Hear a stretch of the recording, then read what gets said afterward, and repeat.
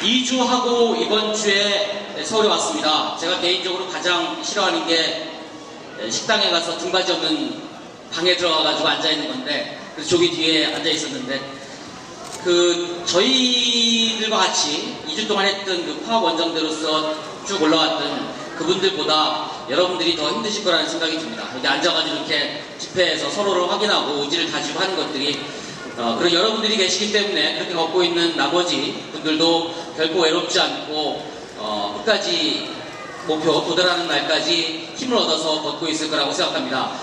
저희가 첫날 처음 시작을 했는데요. 간단한 에피소드 하나 말이면 첫날 그 원동이라는 데가 있습니다. 경상남도인데요. 부산에서 바로 위에 올라가면 원동에 첫날 도착했더니 거기서 이제 저녁을 먹고 그 동네 조그만 허름한 슈퍼에서 어, 맥주 한잔 하다 봤더니 할머니가 그러시더라고요.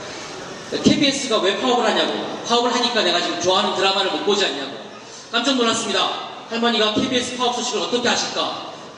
그래서 되물었습니다. 할머니, 어떤 드라마를 못 보시는데 이렇게 그러십니까? 할머니가 말씀하셨습니다. 해품달. 근데요, 이게 호남으로 넘어오니까요, 길 가는 어느 한 분이 차를 세우고 차에서 어, 딸기 한 상자를 꺼내가지고 말없이 주고 가셨습니다. 같이 사진 찍자고 하시니까 사진이라도 한 장 찍자고 하시지만 괜찮다고 하면서 서둘러서 가셨습니다. 어느 곳에 갔더니 지나가던 차가 서가지고 창문을, 창문을 내리고 화이팅이라고 외쳐주시는 분도 계셨습니다. 충남으로 들어왔더니 식당에서 밥을 먹고 갔더니 그 식당 주인 아주머니랑 아저씨가 끝까지 응원합니다. 힘내세요. 라는 말씀 들었습니다.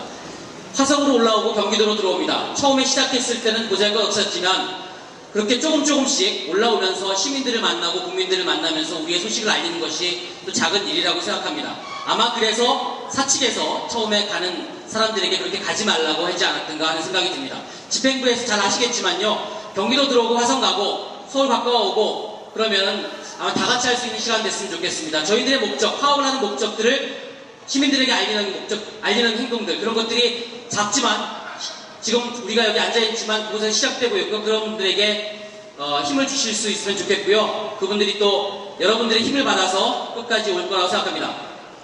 여러분들 혹시 지금 떠나가신 분들 아시죠? 그분들한테 시간 나시면 파이팅 끝까지 수고한다고 문자라도 하나 넣어주십시오.